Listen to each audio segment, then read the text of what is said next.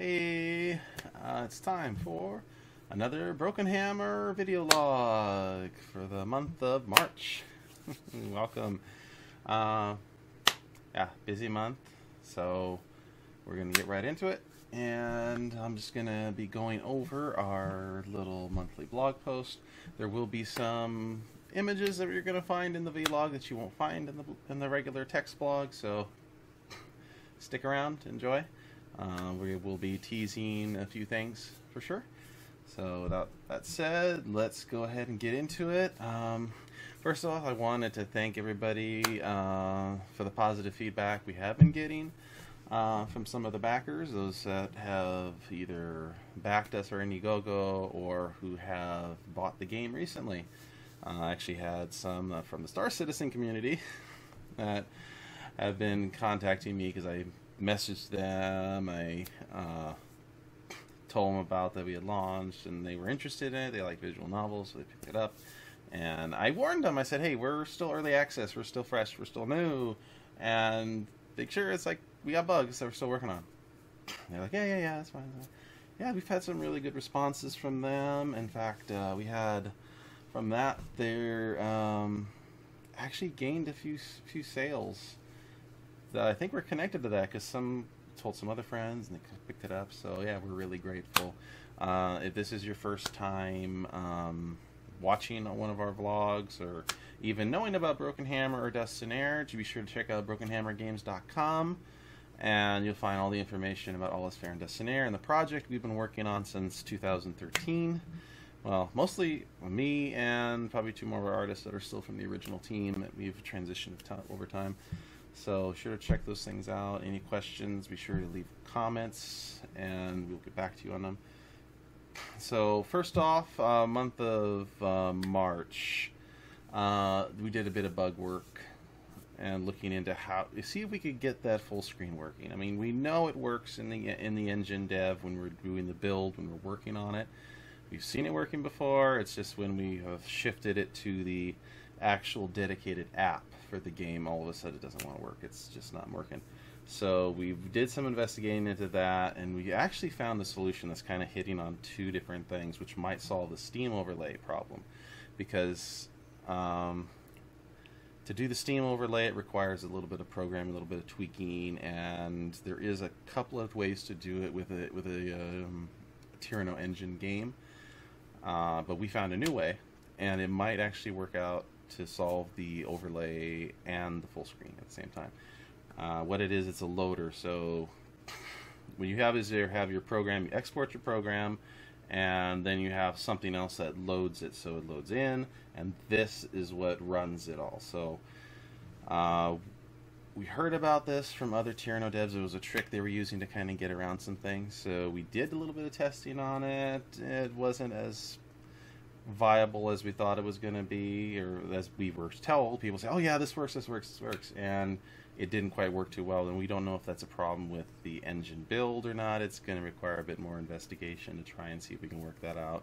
It is the most promising lead right now because it's something where it, we can get it done and get something get something functional much faster than doing some other way. However, it's not going to solve the issue for iOS or Android uh, eventually, which is what we want to go to. We want to get those other versions out. Um, uh, oh yeah, Mac version. Yeah, we're still looking for Mac testers. We're still looking for somebody that can work on it for Mac. You sent out a bunch of feelers, haven't gotten really any hits yet, and on Mac users that are interested, I guess they don't. I guess Mac users don't play visual novels. I don't know. we'll see.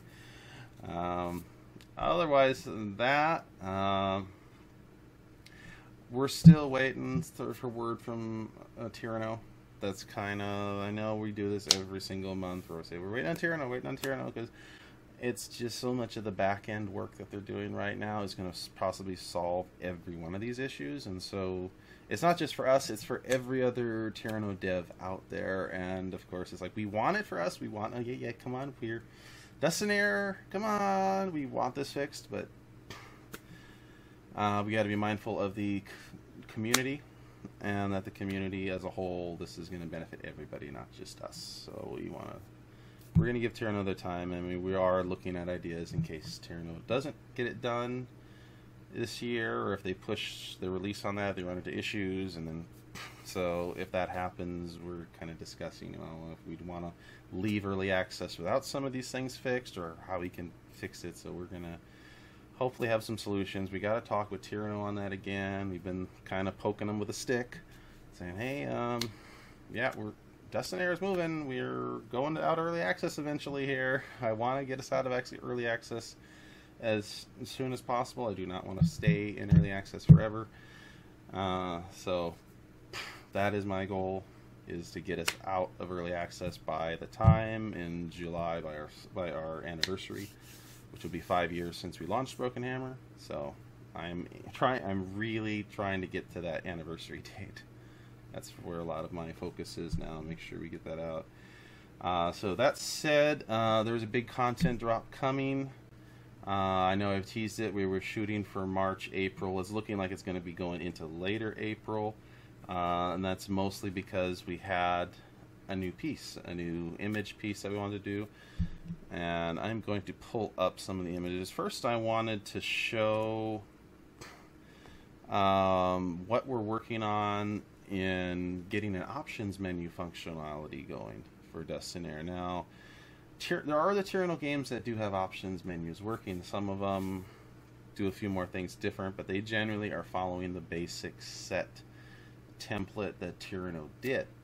Now, it's not a really great template. It's not it's not really what we're hoping that it's going to be in the end. We really want a lot more options. We want a lot more flexibility with it, but of course, this is what we're having to work with right now. So all right, what you're looking at is a config menu that we have developed, we're working on. This is an early teaser for it. You can see this in the regular blog, but uh, there will be a button that comes up to enable it, and all the buttons should be functional because we're just following kind of the template that Tyrano has put because frankly their stuff works. If we try to do stuff on our own, for some reasons we get all sorts of weird bugs. So we're going to do that now. Um, moving on in the content for day two and why we had we're pushing back to later in April. It was um, frankly it was a decision that was made when we were looking at going to the routing and we were deciding okay we have to do these edits we're, we're getting things ready for a big playtesting session we're going through and we're taking feedback from people that have played it saying, okay, we need more routing, we need more of this, we need more that, we need something else. And so we're, as we're doing the edits, for last minute edits on day two, we're saying, okay, how can we add some of that? How can we address these concerns that some of the players have? And yeah, day two has grown a tiny bit. We have increased our, um, increased the routing. We've got a few more things here and there. And during that process, it was a decision that was made because we saw an opportunity and especially me, I, I, was the one that was doing most of the writing and trying to do all the project managing. And I'm looking at this opportunity, and I'm just going, I don't think we can pass this up. So I contacted uh, Ryan, uh, VP. He's a main tester. He's a guy. You've seen him. You haven't seen him for a long time on the vids. He did our little intro vid, and I contacted all the artists, and I said, "Hey, this is the idea I want to want to I want to add this scene, and I don't know if we can get it done before day two has to launch because I know getting the art content done is going to draw. So how can we do it? Get it out quickly. And the thing was, a lot of the artists were like, "Yeah, yeah, that sounds neat." Uh, Ryan was like, he was really interested. If we can get it done fast, we can get this out there, get it in. So I uh, approached Winks on it, and I said, "Can you get this done within a short amount of time?" and because I was willing to, it's that big of a scene. It's huge enough. It's going to tease things for story arcs later, which is really important, and quite a few other things. And we do have concept art on it. So I approached her, and she said, "Yeah, I can do it." So uh, I made the decision to stop what we were working on at that time, the pipeline, even though it's we've had a couple. We have two artists that are going full full four force right now, and Khan has he's starting to come back in, so we're actually up to three now. Georgie just he just pretty much finished the um, this one piece he was working on, but he's been busy in, in Russia, so we're kind of stuff happens. I mean, it's just real life goes on. But what I want to go over is I'm just going to give a brief like teaser of it. If you followed the project, uh, if you followed some of our postings years ago with Muse, then you kind of know who these characters are. You know, uh, because we've talked about them before. They're not unknown, but I'm just going to give a teaser on some of the stuff that we're working on. I don't want to show the full image, so you're not going to see the full the full final image that's going in the game. Just know it is done, and the this what you're about to see the teaser is not what the final image looks like all the way now. We uh, Winks did a really awesome thing. She's amazing. She did multiple sketches of different poses and all the things. So we kind of we kind of picked which poses we want and everything to kind of fit what we're going to do. So I'm just going to tease this. And this is just, again, it's a very base sketch what we're going to do. And these two characters are going to be uh, making their appearance in Dust and Air. And it's going to be an early appearance. They originally were slated for the story arcs, and they're coming in. So we worked out a situation where we can do it without cutting not cutting into the time, cutting into the, the development, and actually get it done in a way where it looks good, but it's yeah. So it's it works anyway either way. And I also want to go into besides that, we also have production going on on some of these are the last art images we kind of need. And we have our cathedral guard and he has done a we've done a big revision on him. Originally, it was concepted by Bayou, and Bayou did some uh, colorized work on it. However, the more the longer it went, we needed we we knew we needed something different. So that is actually in color right now, just about done. And then we're going to move on to our Yeshin guard that we are going to have at the event. Uh, Winks is going to be starting on him real soon here. She's she's been really coming through on us, and working hard, getting a lot of this stuff done uh, quickly. So we're very grateful for for her coming onto the project, and she's been just kicking butt.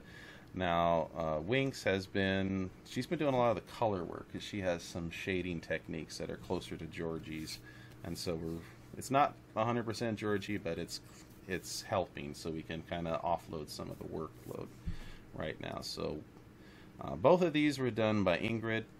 She did the base model. Ingrid's been awesome with many of the uh, character models, and we're really, we're really glad to be working with her.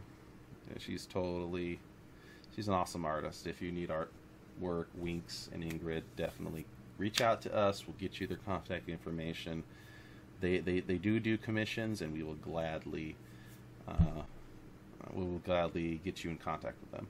Now, lastly, the other piece that we're looking at to close out that's basically just about done right now. Actually, there's two pieces, but the other one we will leave. I'm not going to tease it right now, but we have a background image. The last major background image for day two is currently just about done, and this is Khan. Khan has come on board. He has been. Um, we said, hey, we need to get this done within such and such a time, and so he has been coming through big time right now.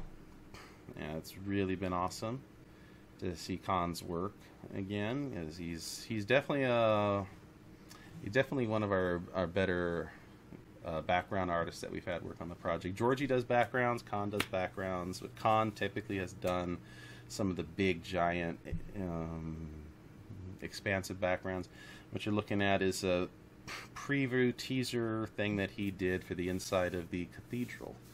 Now, I know we kind of showcased something a while back an inside cathedral. Bayou kind of worked on that too. It's just we, the more we looked at it in the scene, the more we needed something different. And so Khan has come on and has done some major work there. And he the images he just sent us regarding that recently have been improved even more. So we definitely want that sense of when you enter the cathedral, William enters the cathedral, that you're in this ancient world, this ancient building, and it's dark. It's not as brightly lit. It's just like you're entering another world, and Um, the previous image that we had for that just didn't quite do it. So Khan has stepped up. He's been really awesome with that. And again, if you want some of his, uh, if you want to reach out to him and, have him do a commission for you of any kind, definitely reach out to us. We'll get you in contact with him as well. Again, he's a very good backgrounder. Very good with uh, cityscapes, doing big sprawling images. So he can definitely, he's definitely an asset to have if you're looking for some art like that. Uh, and I think that is about all that we have for this video of the month. Um, pending no, there's no changes. We're going to be finishing up testing and stuff probably early into April, and then we'll be launching towards the end of April on the day two content patch. I'm not going to guarantee we're going to get the config menu in all the way during that because we still got to do some testing on that. We still got to do a bit of work. Uh, yeah, we're going to have to see on some of the bugs because some of those, I mean, I don't expect a major bug patch. Like we're going to get everything squashed to this patch. Oh my gosh, why haven't you fixed these bugs? Well, because some of it's Tyrano backend, and some of it is requiring a lot more than we originally expected it to be. And we are counting on Tyrano. They're saying that yeah, these things are going to be fixed, and we know some of it's probably going to be waiting until we get the big, huge, like re overhaul build of of the engine. So when that comes, definitely a lot of this stuff is going to change either way, April's going to be busy. So, yeah, a lot of testing, a lot of work getting day two, and with that, going into day three, most of day three is actually a bit more further along than day two. Day two is just we had a lot more character work, a lot of the things that need to be done. Day three, we pretty much had kind of gotten mostly done. We're just day three is going to be i think we have one basic character and then uh, we got um, Astock's character, which needs some of the personality, like the he needs the expressions and stuff done. We got all the models, so those are all ready. That's great. So we're probably going to be uh, sh- shifting that over to uh, Winks to finish up the expressions, to get that all out. And then day three is like should follow pretty quick. Now the question going into further beyond April is: Are we going to merge day three and day four? As day four is kind of small, day three is a bit bigger the question is, do we do the like a big content patch and just do them both? We might do that. Uh, we are looking at a lot of those options right now, going in into seeing how we can make the uh, release date, the exit early access uh, by summer. So other than that, I think that's about it for this vlog. Thank you for joining, and thank if you are a backer or if you are somebody that's just purchased or just started to join us for this ride. Just thank you, thank you, thank you, thank you for joining us on this journey. And please stay tuned. Uh, we'll be having more updates as we go. More. This is gonna. This is a, not a like in and out quick project. It's gonna. We're gonna be working on it for a while, but we're to do everything we can to get those story arcs and everything else out as soon as we can so we can get this done and you can get it in your hands. So, thank you for joining. Uh, we will see you in the skies. Bye.